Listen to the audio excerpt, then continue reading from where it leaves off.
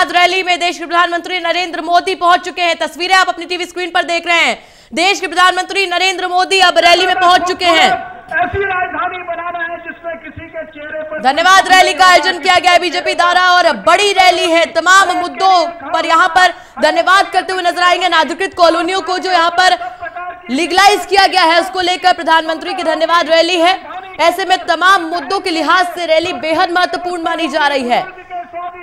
तो देश के प्रधानमंत्री नरेंद्र मोदी इस वक्त धन्यवाद रैली में पहुँच चुके हैं। सीधे तस्वीरें आप देख रहे हैं रामलीला मैदान से। प्रधानमंत्री नरेंद्र मोदी जी को। प्रधानमंत्री नरेंद्र मोदी का यहाँ पर स्वागत किया जा रहा है। मनोज तिवारी और तमाम बीजेपी के बड़े नेता वहाँ पर मौजूद है। उनका स्वागत करने के लिए फूल देकर उनका स्वागत किया जा रहा है।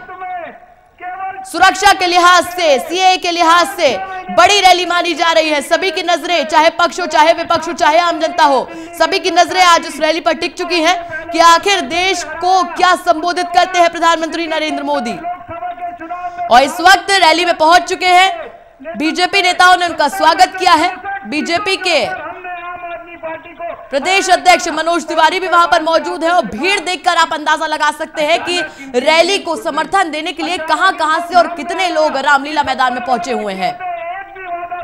पूरा मैदान यहाँ पर खचाखच भरा नज़र आ रहा है। अगर बात करें 11 बजे के करीब की तो 11 बजे तक लग रहा था कि इतनी बड़ी भीड़ जुटाना मुश्किल होगा, लेकिन टैक्स खचाखच रामलीला मैदान भरा हुआ है। डॉक्टर हर्षवर्धन इस वक्त मंच पर मौजूद है और सभी की निगाहें टिकी हुई है यहाँ पर देश के प्रधानमंत्री नरेंद्र मोदी के संबोधन पर।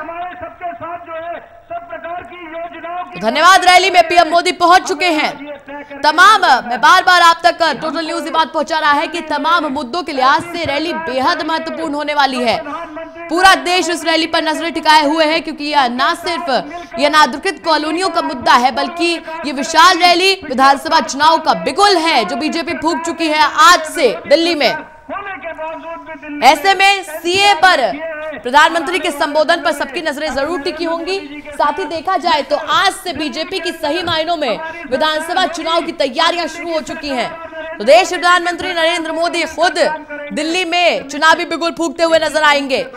वही बात की जाएगा सुरक्षा की तो सुरक्षा के लिहाज से रैली बेहद महत्वपूर्ण है, क्योंकि खुफिया विभाग ने यहाँ पर, खुफिया विभाग ने यहाँ पर कहा था कि रैली कई मुद्दों में आतंकी नज़रों पर ज़रूर है। ऐसे में मोदी जी को बेपनाह मोहब्बत पुख्ता इंतज़ाम किए गए हैं सुरक्षा के। के लोगों ने हमेशा भारतीय जनता पार्टी को समर्थन दिया है।